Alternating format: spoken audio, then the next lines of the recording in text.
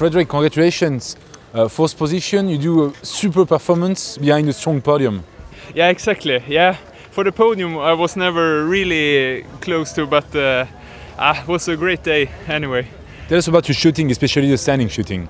Yeah, uh, yeah, four times zero, and uh, especially the standing, it makes makes you climb a lot in the in the standing. So, ah, uh, super happy with my performance. Does it give you some confidence for tomorrow and the mass start? Yeah, exactly. I was uh, struggling to get one of these five last spots for tomorrow, and uh, yeah, it feels good to make it, and uh, yeah, everything looks good for for that. Finally, this season you had very uh, great week, the first week in Östersund, and a very nice one as well in the end of the uh, year. Yeah, exactly. Start good and uh, end up well here. Thank you very much. Thank you.